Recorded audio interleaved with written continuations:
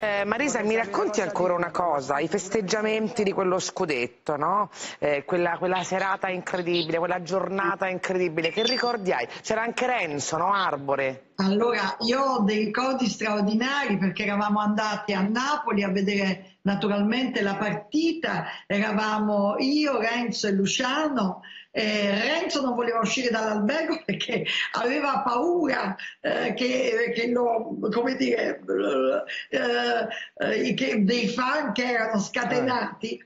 Io e Luciano riuscimmo a farlo uscire, ma Mirta, non appena Renzo uscì fuori, venne preso in braccio da una folla scalmanata che lo buttava per aria. E io e Luciano eravamo talmente che ridevamo che non riuscivamo a bloccare questa folla. Quindi Renzo si rintanò in albergo e io e Luciano andammo a Forcella dove ora c'è il mio teatro grandissimo Trianon e io e Luciano andammo a vedere questo spettacolo di Napoli bianchi e azzurra anche noi venimmo presi in braccio da una folla di scalmanati e depositati in casa di Giuliano che ci offrì un caffè e ci il disse famoso boss. a provare. Ma, ma noi eravamo proprio portati lì. È stata una cosa fantastica. Ma che è successo a casa di Giuliano? ma mi incuriosisce questa storia?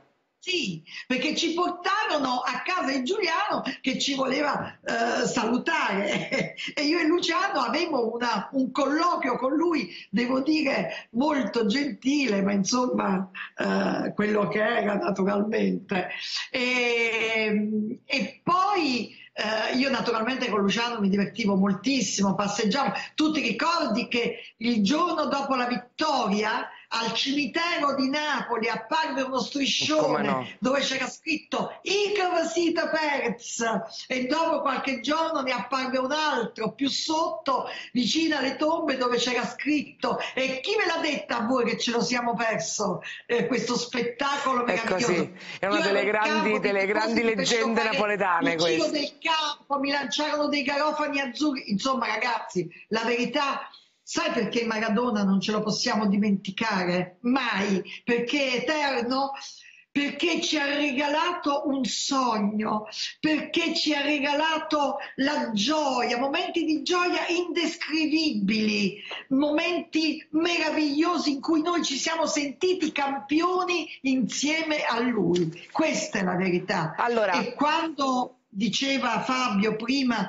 che noi non lo abbiamo aiutato, noi non dovevamo aiutarlo, Fabio, ma le, no, no, io... le, alcune, alcune eh, come dire, eh, ehm, eh, diciamo che non l'hanno neanche sostenuto, no, piuttosto io direi questo, che non è stato difeso sufficientemente dalle squadre, dai, dai presidenti, perché quando è accaduta quella famosa cosa eh, in cui che noi non possiamo dimenticare che lui uscì di campo nella mano di un'infermiera, beh, ma nessuno è andato in profondità per capire se 94. quel doping era vero, era falso, se gli avevano dato delle pillole o se lui le aveva prese. Io oggi sono convinta che lui non le avrebbe mai prese, perché lui comunque, pur avendo tutti i difetti, la ribellione, era uno molto leale nei confronti del gioco e della sua squadra. Allora, eh, eh, grazie Marisa.